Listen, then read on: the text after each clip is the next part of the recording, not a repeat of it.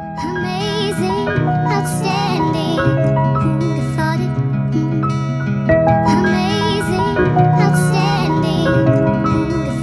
My mood swings, as I focus on things that matter. Turn 26 and I'm still yet to become a better father. Not resolving the violence, I'd rather leave it to karma. I'd be a slave if I chose not to emancipate self. Not only physically but mentally, spiritually as well.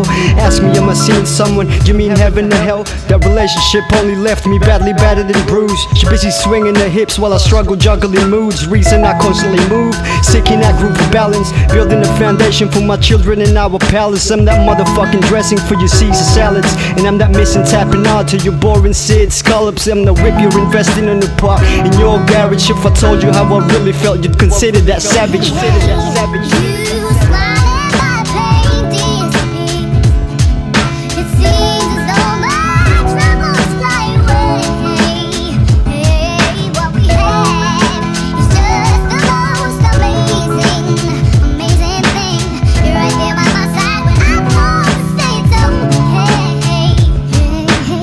How do I even manage? Some days are sweeter than others, some days are like horseradish. But I grew and learned to love it, now beating against the current. I'll be at the bottom waiting to catch you after you plummet. It's the mood, the feeling I get when I start reflecting. It's the moon, the light it provides. Ease my aggression, it's the stars when I notice the way that they constellate. It's the fate that teaches me to channel my inner hate. It's the time, I guess I'm old. Tell me when it's too late. Tell me when it's too late. Tell me when it's too late. Tell me when it's too late.